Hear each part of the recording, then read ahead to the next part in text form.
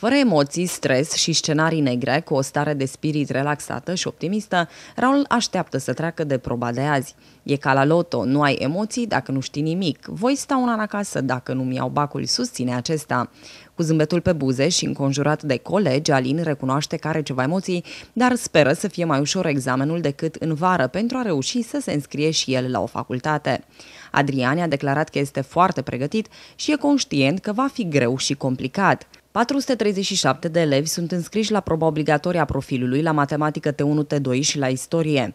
Trei ore au elevii la dispoziție pentru a rezolva subiectele. Emoțiile sunt mari doar pentru o parte dintre absolvenții de liceu care nu și-au promovat bacul în sesiunea anterioară. Pentru a evita incidentele care s-au produs deja la testările anterioare, candidații au fost sfătuiți să nu aibă asupra lor telefoane mobile și alte dispozitive de comunicare, astfel vor fi eliminați din sala de examen. Aveți emoții pentru azi? Nu avem emoții, dar o să fie tot foarte bine. Crezi că vor fi probele ușoare, grele, cum? Apoi, normal că o să fie un pic mai grele, dar mergem înainte. A doua oră dai bacul sau? A doua oră. Ce vei face pe viitor, dacă ți iei bacul?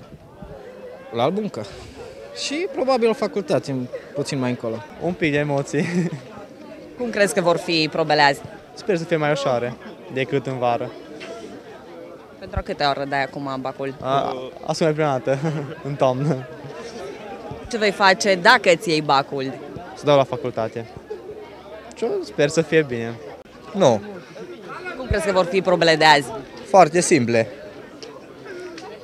Pentru că am învățat și bănuiesc că totuși o să știm. Sau bănuiesc doar. Ce vei face dacă ți iei bacalaureatul? O să mă distrez vreo 5 luni în continuu până o să intru la o facultate sau, nu știu, oriunde altundeva. Da. Cum crezi că va fi proba de azi? Ușoară, grea? Nu știu, vom vedea. Ce vei face dacă ți iei bacul? Mă voi duce la facultate. Da, cum să nu suntem foarte pregătiți. Emoții aveți?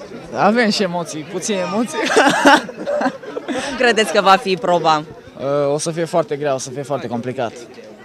Da, sper să ne descurcăm. Că n-ai emoții, că dacă nu știi nimic, oricum n-ai emoții. Dacă nu știi nimic, n-ai emoții. Ca la loto. Deci tu nu ai emoții pentru azi. La ce? Da, te-ai pregătit? Nu. Ce vei face dacă ți iei bacalaureatul? Mă duc la facultate. Și dacă nu mai stau un an. Tu ai emoții? Puțin. Cum crezi că va fi proba de azi? Sper să fie mai ușor ca în prima sesiune. Ce vei face dacă ți iei bacul? Mă duc la facultate. Câți elevi sunt înscriși pentru proba de azi? 437 de elevi la matematică T1, T2 și la istorie. Avem 18 săli de clasă foarte bine pregătite, cu cameră pentru supraveghere video, uh, corespunzător metodologiei în vigoare. Câte ore vor sta elevii? Trei ore. Trei ore vor sta elevii. Noi sperăm ca în jurul orei 9 să distribuim subiectele în săli și după aceea, din acel moment, uh, trei ore vor sta elevii în sală. Elevii care, să spunem, nu uh, se prea descurcă, nu prea știu să răspundă la subiecte, uh, sunt obligați să stea în sală cel puțin o oră și jumătate, după care au dreptul ca să părăsească sala.